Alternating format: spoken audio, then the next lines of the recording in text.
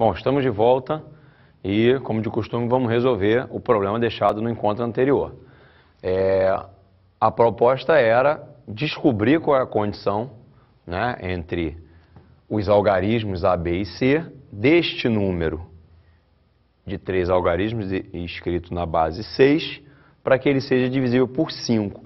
Então, a ideia que a gente vai usar aqui é parecida com a que a gente usou no último encontro para mostrar que aquele número da base 3 era divisível por 2. Agora a gente vai mostrar que um número na base 6 é divisível por 5. Não sei se vocês perceberam a correlação. Vou repetir. Na outra a gente pegou um número na base 3 e mostrou o que era necessário para ele ser divisível por 2. Agora eu estou pegando um número na base 6 e tentando descobrir o que é necessário para que ele seja divisível por 5. Né? Existe alguma correlação aí. Bom, quando eu tenho lá o número ABC, na verdade isso representa A vezes 6 ao quadrado, mais B vezes 6, mais C. É, usando a técnica que a gente usou no último encontro, eu vou escrever o 6 na forma 5 mais 1, e aqui está elevado ao quadrado, mais b, que multiplica 5 mais 1, mais c.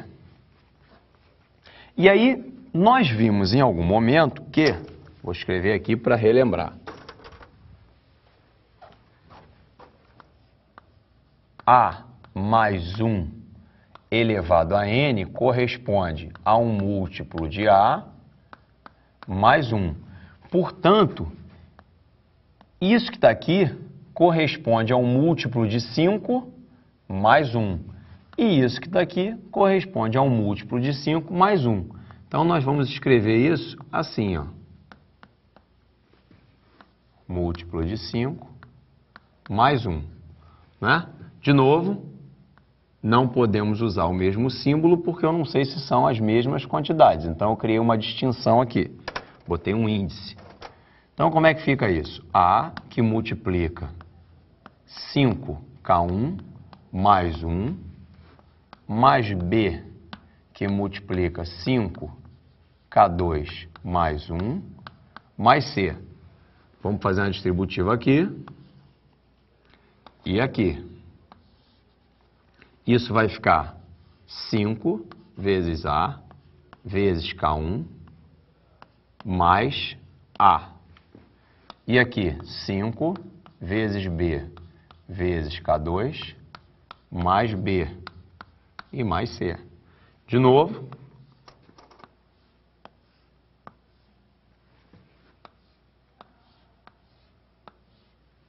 Isso aqui é múltiplo de 5.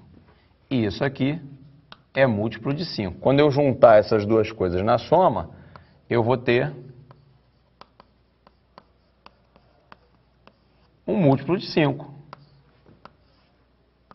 Um múltiplo de 5 acompanhado de mais A, mais B, mais C.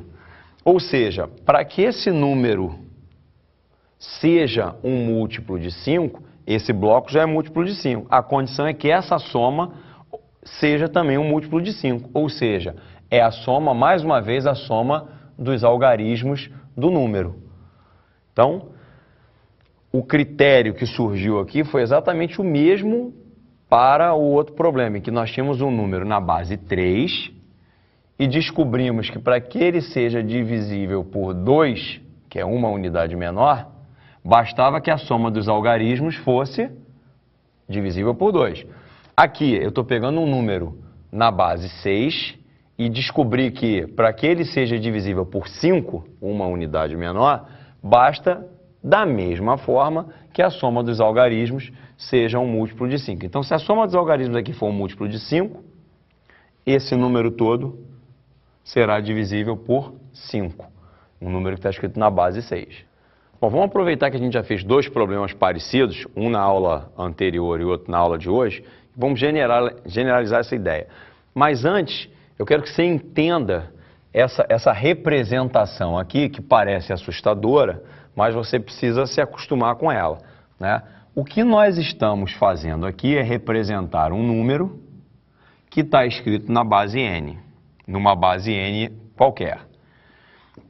Cada um desses azinhos representa um algarismo diferente desse número. Então, da direita para a esquerda, o primeiro algarismo é o A0. O segundo algarismo da direita para a esquerda é o A1. Como eu não sei se eles são iguais ou diferentes, eu não garanto que eles são iguais, eu usei uma distinção entre eles, que foi o índice. Esse era o A0, esse era o A1. E o seguinte, chamei o algarismo seguinte de A2 e o algarismo seguinte de A3. Por que, que eu fiz desse jeito, começando pelo A0, depois para o A1, para o A2, para o A3? Porque, na verdade, esse algarismo está associado à potência n, que é da base, elevado a zero. E esse algarismo A1 está associado a n elevado a 1. E esse algarismo A2 está associado a n elevado a 2 e o algarismo A3 está associado a n elevado a 3. Então, fica fácil porque o índice que a gente colocou aqui para fazer a distinção entre esses representantes dos algarismos, esses índices já indicam para a gente qual vai ser a potência que vai estar associada a ele. E aí, como eu não sei exatamente se eu tenho 10, 15, 30 ou 1000 algarismos nesse número que está escrito na base n, é, eu generalizei também a quantidade de algarismos. Então, eu coloquei uma quantidade R. Né? Da mesma forma que aqui, antes do A3 apareceu o A2, eu fiz aqui ó, AR e antes dele aparece o AR-1. E antes do AR-1, o AR-2. E antes do AR-2, que eu não escrevi, seria o AR-3 e assim por diante. Essa é uma maneira de representar isso o mais genérico possível. Né? De qualquer forma, a ideia vai ser a mesma. Por quê? É, o AR, agora você já sabe, né? nessa representação aqui, quando eu passar para a base 10, isso vai ficar o AR vezes a nossa base, que é N, elevado a R. Lembra que o índice dizia para a gente qual era a potência da base. Depois, eu vou ter o A R menos 1 vezes a nossa base elevado a R menos 1. E assim por diante, não preciso escrever todos, até, por exemplo, chegar ao A3, que está associado a N elevado a 3. O A2 vezes n elevado a 2, o A1 vezes n e o A0. Escrevemos na forma de potências. O resultado disso vai me dar essa quantidade já passada para a base 10. É, agora, nota uma coisa, né? usando aquele nosso resultado. Esse n aqui, cada um desses representantes aqui, N, N, N, N, poderá ser escrito, eu vou fazer só com um deles, ó. Isso que está aqui, poderá ser escrito assim, ó, A, R, que multiplica. Eu estou repetindo a nossa técnica. Eu estou escrevendo N agora como N menos 1 mais 1. Eu já fiz isso com 3, escrevi 2 mais 1. Eu já fiz isso com 6, escrevi 5 mais 1. Agora estou fazendo com n. n mais 1, n menos 1, mais 1. Só que isso aqui está elevado a r. Né?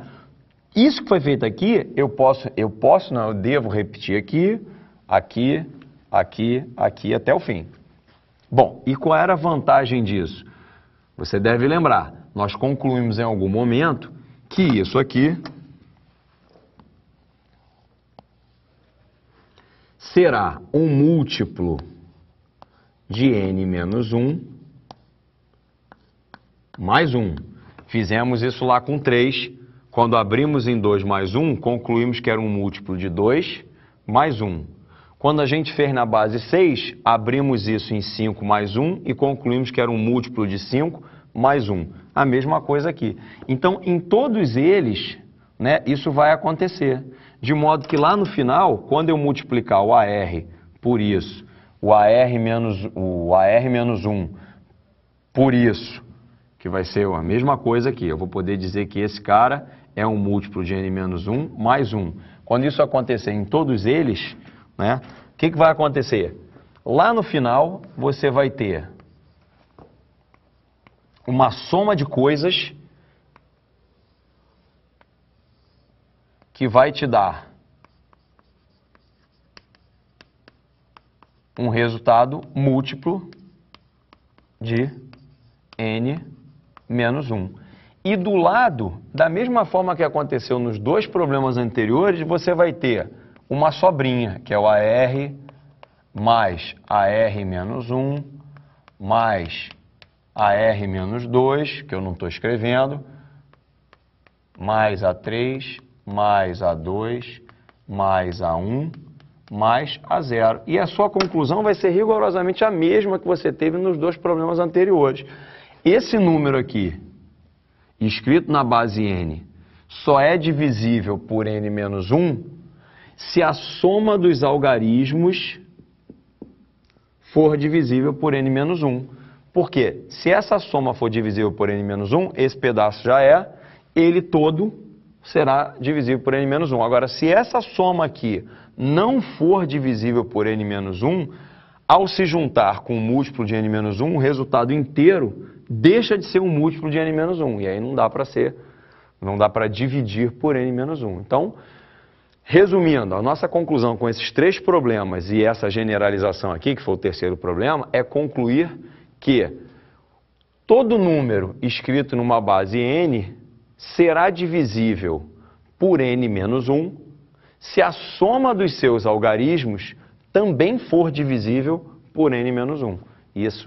Era a conclusão, era onde a gente queria chegar. Uma consequência bacana disso que a gente acabou de, de demonstrar né, são critérios de divisibilidade. Né? Por exemplo, é aplicando o que a gente acabou de descobrir para um número escrito na base 10, né, a gente conclui que um número escrito na base 10 é divisível por 9 se a soma dos seus algarismos é divisível por 9. Né? Esse é um critério similar ao critério que a gente usa para divisibilidade do número por 3. Né? É, curiosamente, algumas pessoas conhecem o critério por 3, né, de divisibilidade para 3, mas não conhecem o critério de divisibilidade para 9. Né? Então aqui a gente provou que o número na base 10 será divisível por 9 se a soma dos seus algarismos for divisível por 9. Né? Então imagina que esse aqui é um número na base 10, isso tem que dar necessariamente um múltiplo de 9, vou destacar isso aqui. Né? Se o n, se a nossa base for 10, isso aqui será um múltiplo de 9, adicionado dos seus algarismos, né? Então, se o número está escrito na base 10, ele necessariamente dá um múltiplo de 9 mais a soma dos seus algarismos. E aí, esse número será divisível por 9 se a soma desses algarismos também for divisível por 9. A gente consegue estender essa ideia para o critério de divisibilidade por 3, porque esse pedaço aqui é um múltiplo de 9. Então, necessariamente, também é múltiplo de 3. E aí, o meu número agora está sendo escrito da seguinte forma: um múltiplo de 3 mais a soma dos seus algarismos. E se a soma dos algarismos for agora um múltiplo de 3, como o que vem antes já é um múltiplo de 3, por ser múltiplo de 9, se a soma desses algarismos for um múltiplo de 3, o número inteiro é divisível por 3. Então, está aí estabelecido também né, o critério de divisibilidade por 3. Ou seja, se a soma dos algarismos der um múltiplo de 3, ele se junta a esse múltiplo de 3 e o número todo será divisível por 3. Bom, depois de resolvido esse, esse problema para a divisibilidade por 9, é, chamar atenção para um fato sutil e interessante, que é o seguinte. É, a gente mostrou né, que um número escrito na base 10 será divisível por 9 se a soma dos seus algarismos também for divisível por 9. Né? Essa ideia sutilmente será estendida para os divisores de 9, por exemplo, o 3. E aí, como o 3 é, é de divisor de 9, se isso aqui é um múltiplo de 9, se esse bloco é um múltiplo de 9, ele será necessariamente um múltiplo de 3. E aí você testa de novo aquela história da soma dos algarismos, só que agora, em vez de testar para 9, você testa se essa soma é divisível por 3. Você fez uma adaptação. A mesma coisa, se tivéssemos escrevendo um número na base 7, nós saberíamos que esse número na base 7, na verdade, é um múltiplo de 6 mais a soma dos seus algarismos. Né? Portanto, esse número da base 7 será divisível por 6 se a soma dos seus algarismos também for divisível por 6.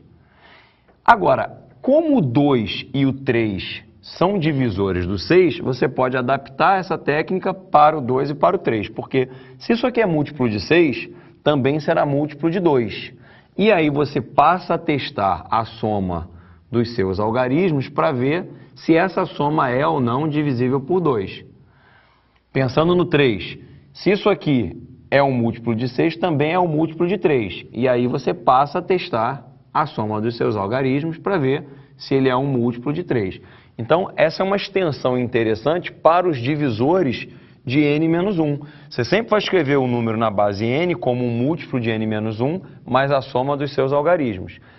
Se você quiser testar isso para algum divisor de n-1, esse bloco já está garantido, porque o múltiplo de n-1 será um múltiplo desse divisor de n-1. Esse bloco está garantido para esse tal divisor d. O que, que eu tenho que fazer agora? Em vez de testar se a soma aqui é ou não múltipla de n-1, eu agora vou testar se essa soma é ou não múltipla desse divisor d. Né? E aí eu sugiro que você faça né, testes com isso aí, mude as bases e verifique essas coisas que a gente acabou de falar para você. Fica isso como uma proposta de exercício. Até a próxima.